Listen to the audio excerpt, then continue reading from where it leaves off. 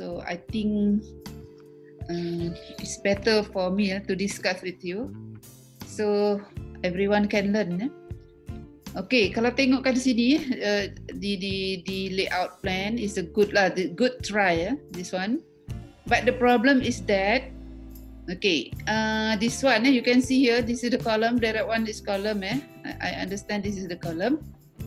First thing first that I spot is that uh, we need another column here. Yeah? Why don't you put a column here? Yeah, because okay, remember masa uh, during the lecture uh, the lecture last time our lecture regarding the size of the uh, the beam eh, we will determine the size size of the beam depend on the L over L over D eh. so L over D basically L over D basically between 13 to 18 eh, for the for the um, for the beam yeah ini eh this is the rule of thumb eh. Okay now you see here. You can see here the distance is 4670 eh. So ini kalau this one the column here to here so we got the total of this length berapa ni ya berapa tu eh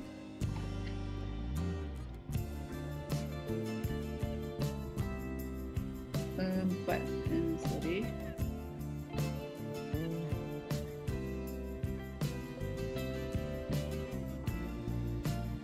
empat enam tujuh kosong eh times three.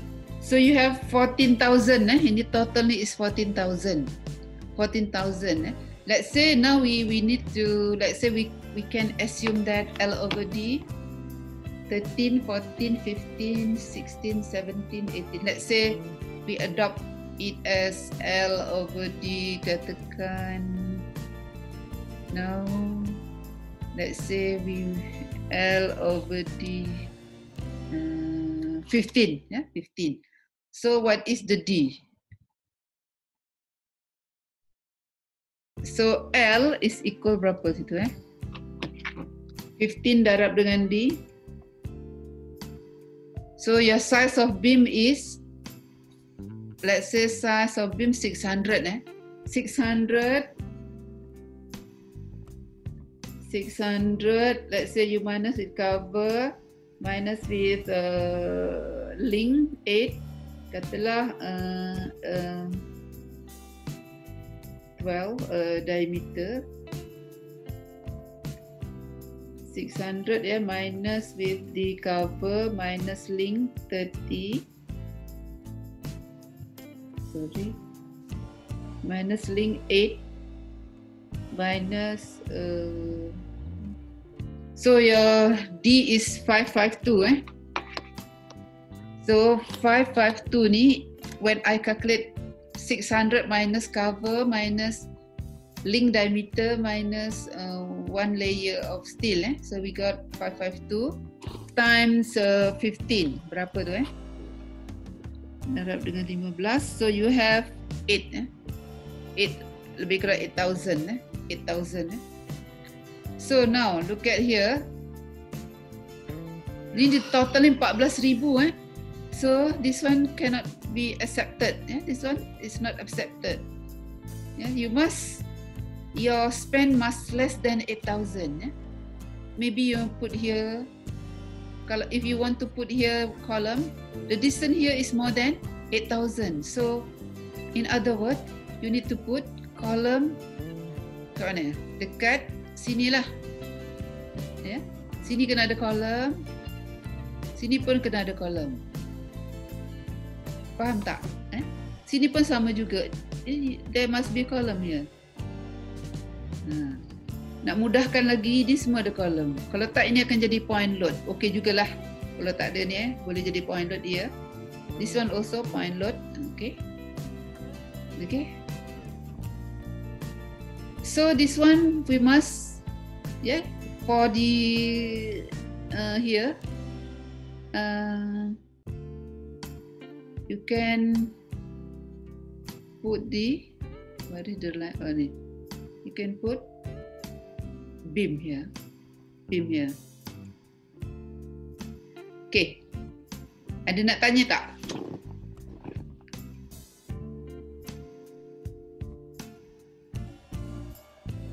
If you don't if you don't want to put beam here, it become a big slab, one way slab, eh? one way slab, a big one way slab.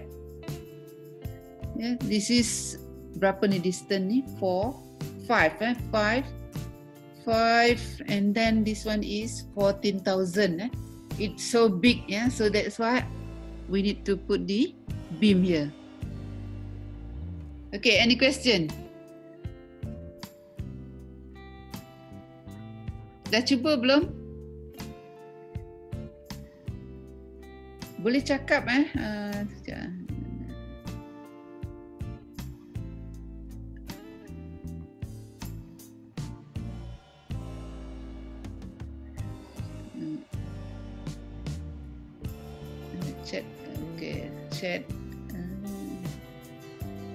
data ada yang dah update ATM Smart Internet buat hal katanya. Tak apa. Kita nak tanya sikit yang 800 Okey, yang ni yang 800 apa ni doktor nak tanya sikit yang 800 oh okey. Nanti saya explain balik. Yang ni faham tak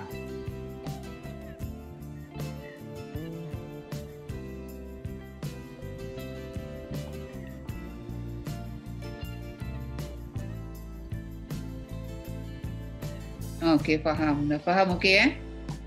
Okay, so basically lah, eh, you punya macam inilah. But um, uh, maybe if you want, if you want, eh, boleh juga letak sini kolom. Eh? Letak kolom sini boleh juga. But if you don't have column here, it is also good eh, because it become a point load to this to this uh, beam ya. Okay. Okay, ada yang tanya yang tadi ya. Uh, okay, this one. Excel.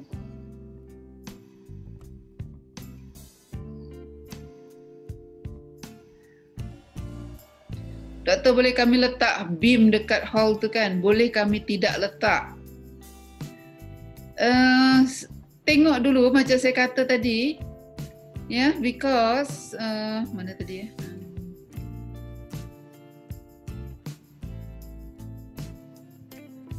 if you don't put beam here yeah it become a big eh, big slab sini ni i'm afraid that the crack will not pass when you when you do the cracking checking for the slab nanti eh. Yeah, because now uh, the slab the slab here is quite big eh? Berapa ni? 5000 and 14000 yeah so it become a one way Sekejap eh? Berapa tu? 14000 campur dengan I'm I'm afraid that you will need a very thick slab eh? So might as well you put the beam here. Tu aja my comment Betul, betul. Ya. Yeah. Maknanya kita ada satu je kan uh, slab one way. Ya, yeah, betul. Untuk stand BC tu kan? Ya, yeah, ya. Yeah, uh. Okay, okay. Okay, betul. So yang ni, this one you can put um, itu tangga kan? Kalau tangga, you boleh crosskan this one. Ah, macam ni. Ni pun tangga eh. Crosskan. So you know this one case berapa eh?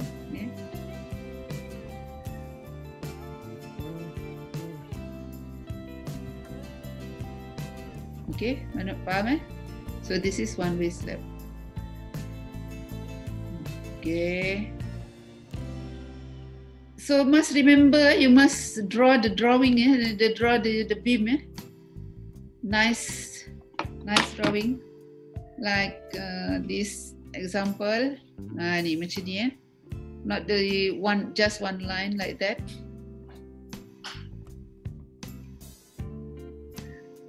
Tadi ada orang tanya eh sekejap eh saya nak tunjuk. Macam Saya erase ini dulu. Okay, ada uh, kawan you tanya about the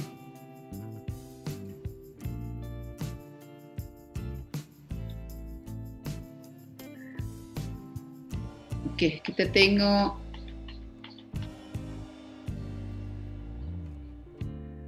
Okay, ini.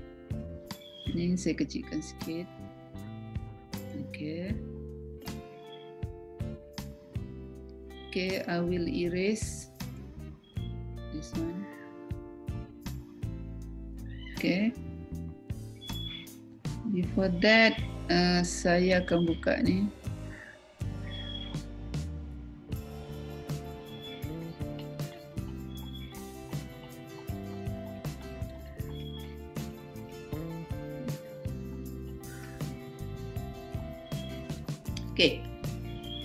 Okay. Uh, tengok ya. AI is the distance to allow for tensile force due to shear ni z cot theta batu. Uh, apa ni uh, if you don't want to calculate this can conservatively taken as 1.15 1 to 5d so ai is actually you can assume it as 1.125d yeah so yang ini So, let's say eh, sekarang sekarang ya. Hmm.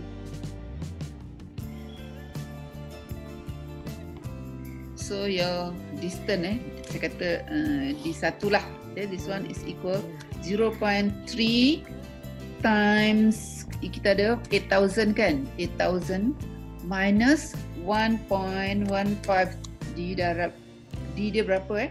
Di let's say 400 or 454 eh? So you got berapa tu?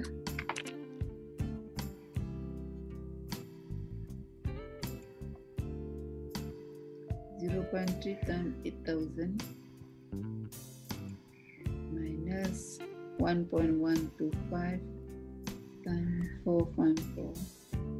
So you have one eight eight nine eh, almost almost lebih kurang uh, 100 900 lah ya yeah? okay so from here from the center of the beam to the first cut off kat sini ni 1900 ya yeah?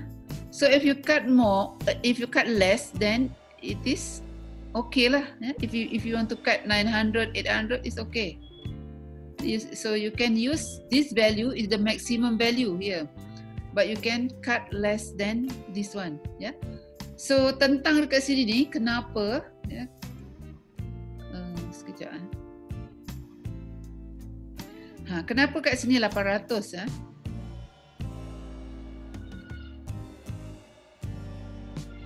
sekejap uh,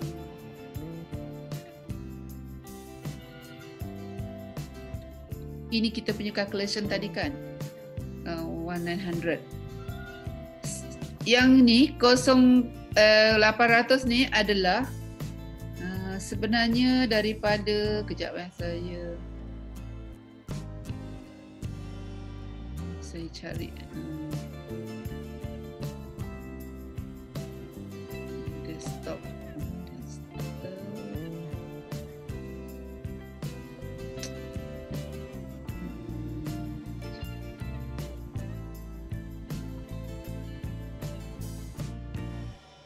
Okay.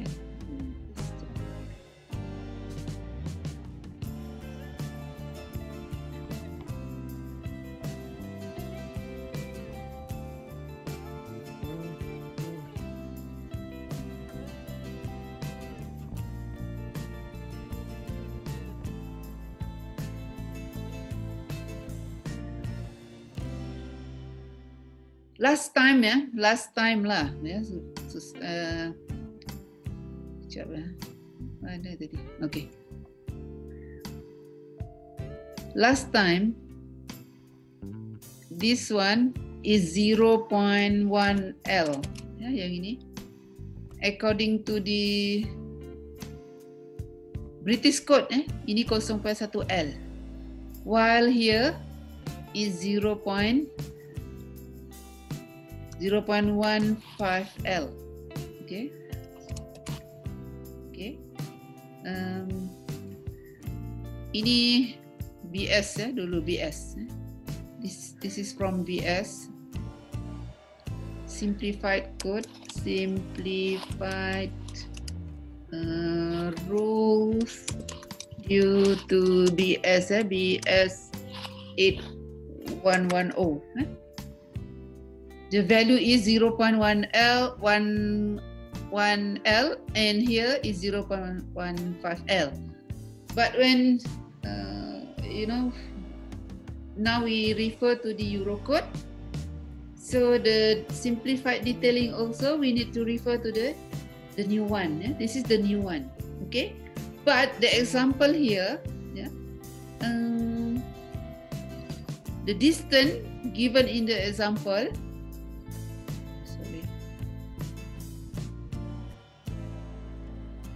Here is refer referring to the previous code.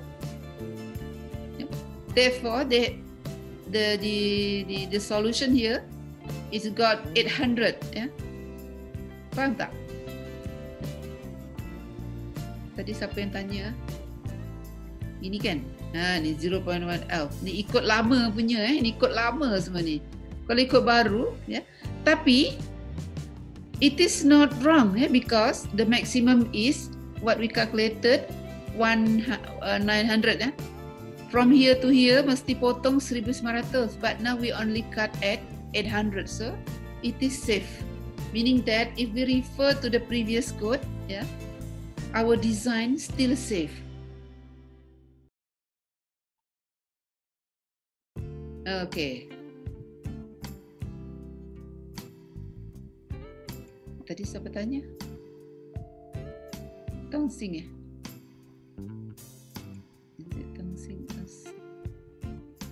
Okay. Okay. So tonsing okay eh? Alright. Any more question? Ada apa-apa lagi?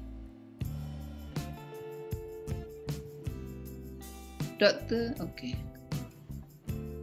Ya, yeah, size beam tu you kira sendiri, betul. Ha, you boleh kira sendiri size beam tu.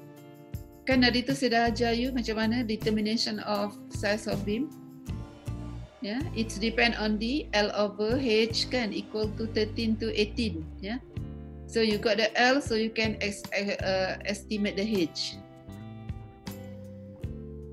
when once you get the h then you can get the b yeah? b is equal 0.3 to 0.6 h can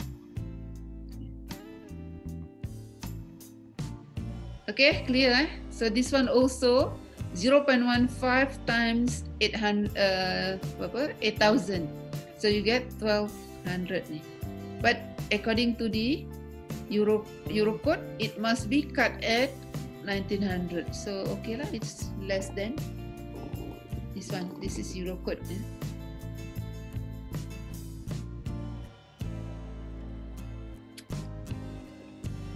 okay if there's no more question, then we will end up the meeting.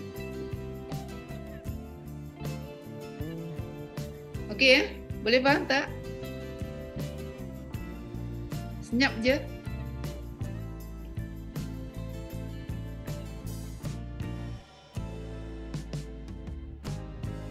Kenapa tak nak cakap? Bisu semua. Faham, doktor. Ah, faham. Okay. So, sekarang ni ya, sekarang ni uh, you establish dulu you punya plan and then terus buat eh buat continuous beam ya Okay, so seorang mesti buat satu continuous beam. Okay, saya lukis balik sini ya. Terpadam ni. So here continuous beam. Uh, this is we got a beam here.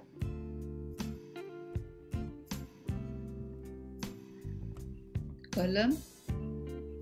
Okay, so let's say siapa tadi? Izwa. Eh? Izwa, you can design. Sorry. Izwa, let's say you design this beam, yeah, one continuous beam. Yeah, and then one simply spotted beam.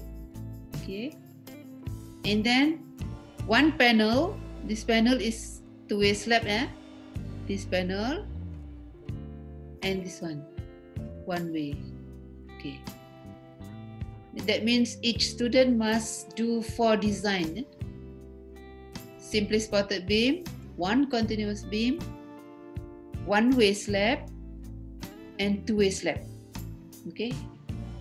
That's it yeah so in one group you must divide uh, work between your uh, member yeah?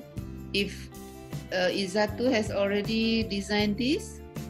Uh, so Tonsing must choose other you know continuous beam. This one maybe yeah. Or this one. Or this one yeah.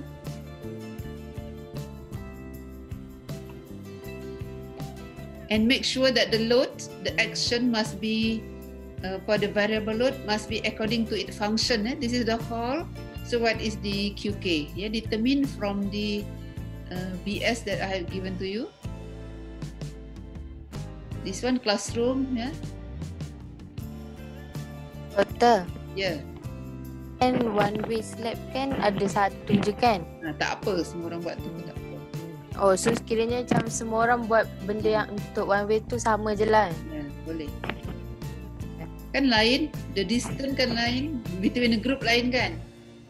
Ha ha ha. Hmm. But but everyone must do this lah, yeah, because if you don't do, you don't have experience how to design. Oh, okay doktor. Doktor, Yeah, nak tanya yang QK kan yang permanent action tu macam mana QK ah? yang yang permanent action tu yang kena bagi dia dia excluding sulfate kan Yes. then dalam calculation tu kita kena uh, apa consider sulfate dengan eh ya sulfate dia kan Dalam projek ke dalam apa? project Ya, yeah, dalam projek ni you kena cari weight from the from the uh, shilling, from the uh, finishers ya. Biasanya dia punya value is 1.5 to uh, 1 1.0 to 1. Point, less than 2 eh. 1.5. Basically 1.5 lah orang pakai. That is from the shilling and also the tiles, finishes and so on. okay yang tinggi untuk wall tu doktor kita 3 assume meter, 3 meter. Biasalah Tiga meter. satu tingkat kan 3 meter kan. oh, okay okay thank you Okay, welcome.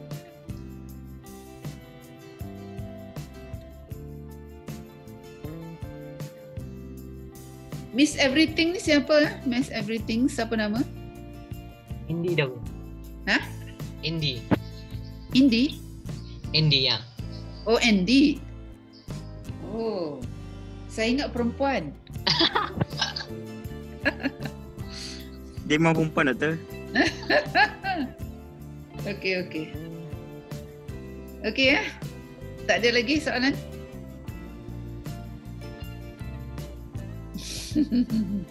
Doctor, ya. uh, can I, uh, if I put uh, one beam from beam at 7, A until D, Yeah. one long beam, one, long, ah, from from uh, A to D. A to D, A to D, A to D. Okay. Ah, okay. Yeah, okay. okay.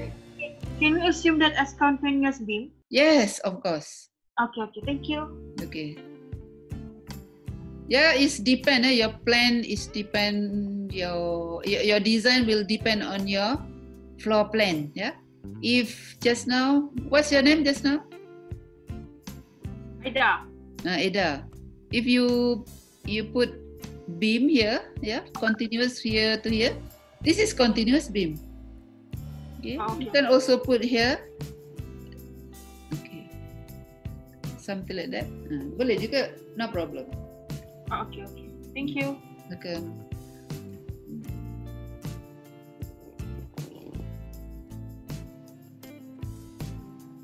Tak ada lagi? Any more? Doktor. Ya. Doktor. Kalau kita letak beam uh, sepanjang span BC tu, BC, span BC. mana kita Ni? letak beam uh, seput Sini pun semua ada? Ha. Ah, ada. nanti bukan tak ada speed, uh, simply beam ke? Mana ada simply beam? Eh, Ah, ah masa yalah, yalah. Ah, ni Kan? jangan, janganlah letak. mana tak payah letak satu kan? Ya, boleh. Plan ni pun okey juga, boleh je.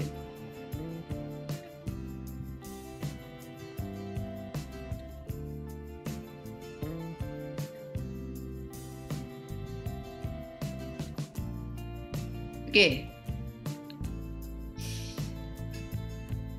So here uh, we have a column lah. Okay.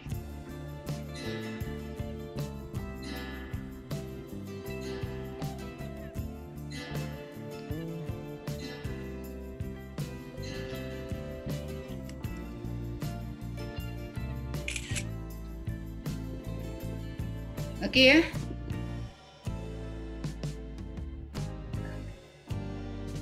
Any more question? Tak ada. Ah, doktor. Hmm. Ya saya.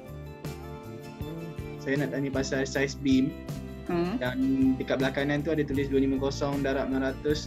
Tu pakaian tu ke ataupun kita kena uh, design eh? Ni uh, macam mana dapat saiz ni? Ke apa maksudnya? Uh, saya nak tahu kita pakai nilai ni nilai fix ke ataupun kita boleh design? Uh, nilai ni ya you boleh assume and then you design lah ataupun you gunakan L over D tadi boleh dapat juga value. Oh, okay, faham faham. Mm-mm. Tapi kalau ini kan ni simply spotted beam ni ni uh, biasa kita akan letak kita round up lah. 5 to 5 or 550 something like that. It's not normal lah the size here. Is 510 yeah so hmm, the owner can change this eh. whose whose drawing is this? And Autodesk and Autodesk student version. Produced by I don't know got no name ya you boleh assume ataupun uh, gunakan rules L over D how to determine the size of the beam that uh, we you learn last time okay any more question tak ada eh Doktor, ya yeah. tadi kan doktor ada tunjuk yang 522 uh, darab dengan 18 kan? Okay, ke 15. Ha kan? ah. Yang 522 tadi tu value apa tu? D sebab dekat sini the, this student ni lah the owner of this drawing dia gunakan 600 kan? This is H. Kan? H. Ha ha ha. so daripada H boleh dapat D kan? Katalah dia punya cover 30 a size steel uh, link 8 and then size steel tension la- uh, 20 so tolak-tolak dapat 522 lah. Oh, hmm. okay, okay. Lepas tu dia dah dengan 15 tu nak check untuk distance apa column. Ah, because Ah, okay. tadi uh, stu- uh, uh, ni plan ni dia tak ada column ni. So it's too long. The maximum we can go is tadi berapa? 8 8000 ni. Ah, 8000 je kan. Kalau you tak ada column sini pun tak boleh. It's exceed then 8000 tadi. Okay, okay, tepat. Yang saya doktor. Okay, sama. Okay, ada lagi?